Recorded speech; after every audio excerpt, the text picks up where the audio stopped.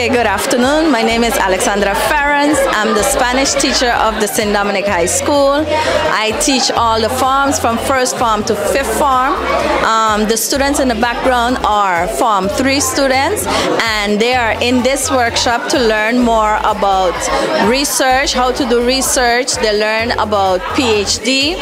Also, um, they had interest in the college life, university life, and how many years and the cost of the university is.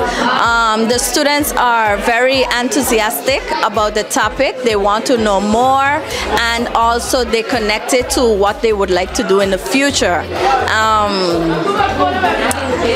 as for the subject in general, it's interesting, especially for them. For those who do not know what they want to become in the future, they have an idea of how to do a research on that particular topic. Um, all in all, it was a good topic.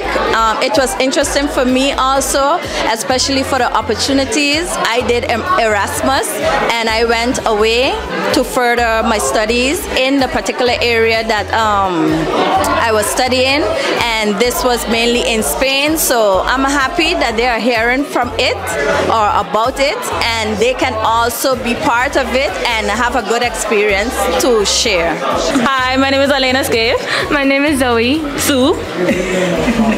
what did you guys think about the workshop? we well i think that it was very entertaining and interesting because it gives us an idea of the course throughout the schools and the estimated time for to receive all the accomplishments like the bachelor's and master's and phd and yeah it just gives us a sense of how everything's going to be uh, I agree with her because usually high schools, when you begin, uh, they don't tell you in the beginning how long studying would go, and this uh, helps coming uh, formers to understand how the future careers would be like. Awesome. What do you think about the whole survey that you did? I think the survey was kind of interesting because like we really don't know that much about our classmates and the other form. Because like we don't really socialize with all of them. We all have our separate groups that we are in.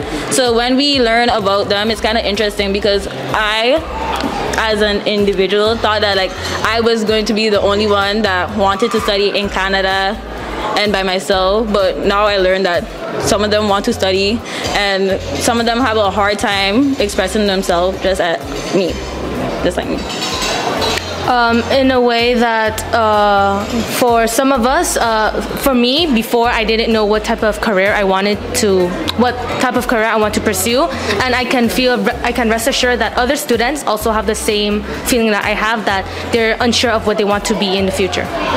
Did you think the idea of pursuing a PhD is one that you would consider in the future? Yes, because I just want as much as as much accomplishments as I can get, just because I want to remember myself as successful in the future. And yeah, I just want a past that I can look back at and say that I did that for me, I guess um, I would want to make my parents proud. They raised me, they gave me everything in life, and in the future, I want to accomplish something that maybe they never accomplished before. Yeah. Great. Thank you. Welcome. You're welcome.